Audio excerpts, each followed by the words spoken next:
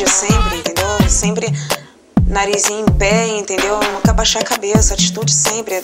Não conseguiu me comer agora, quer me esculachar. Antigamente os homens chegavam em cima da mulher tipo um brutamonte, entendeu? E aí as meninas, sabe, não sabiam o que falar, entendeu? Hoje em dia elas têm resposta assim, entendeu? Eu sair com você por causa de quê? Ah, só porque. Só porque você tá rebolando, você tem que me dar, entendeu?